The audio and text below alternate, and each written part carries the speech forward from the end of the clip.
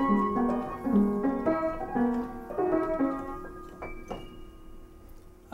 hello there. This is Werner von Wallenrod with just a quick uh, video today about opening your records. Okay, now I buy a lot of used vinyl, and from the condition I've gotten some of them in, I know at least some of you out there need to see this. Okay, now this is it. This is a perfectly sealed, brand new record, right? You got it? Hey, ooh. All four sides sealed. What you want to do is get the shrink wrap off, but what you don't do is just rip into it and shred it to pieces and leave it on the floor like the little kid opening his Christmas present Xbox or something. That's what you don't do. Okay, so what you want to do is find the side that the actual cardboard sleeve is going to open on.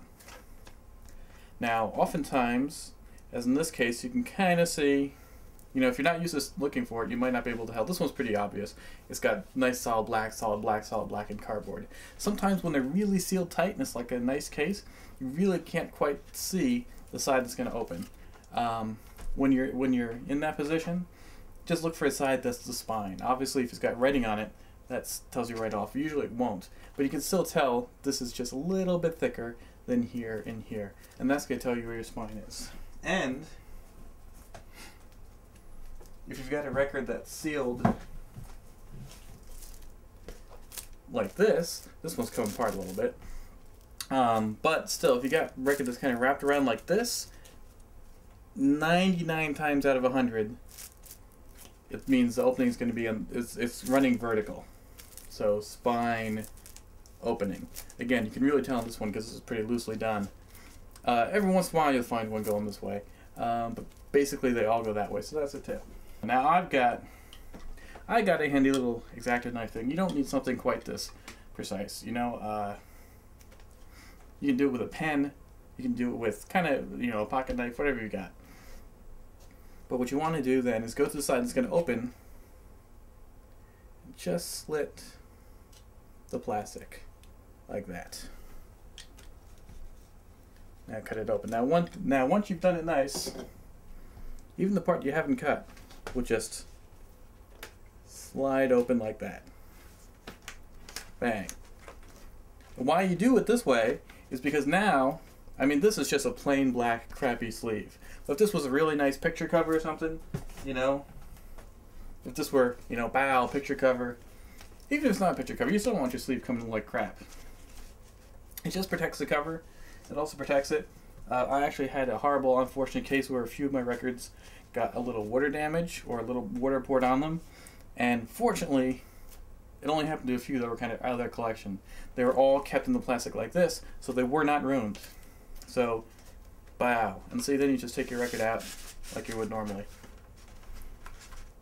You just rip the whole plastic off, uh, eventually the cardboard is going to get damaged. Even if you're really careful with it, just putting it on the shelf, you know, you'll see that the bottoms will get a little worn and worn and get worse and worse. And, and you know, when you keep them for years, you really see the difference. You really see the condition decline. Um, if you've got a cat like I do, uh, and you got a bunch of these within her reach, they love to sharpen their claws on record sleeves. I got a whole bunch of you know, like classical and jazz records from my parents, and the cases all shredded up around on, on the on the spine end, because that's the side that was sticking out. Um, and there, and I have found personally, I can vouch for this. Cats are a lot less likely to scratch plastic wrapped records. that's another bonus reason. So then, there you go, nice kept. The way I actually like to do it is have it so the paper sleeve opens out too so you just kind of take the record out like so and always leave the paper in the plastic. I know some DJs like to do the opposite, I think, because if you're traveling a lot, your records, maybe you're afraid they're going to fall out. But, uh,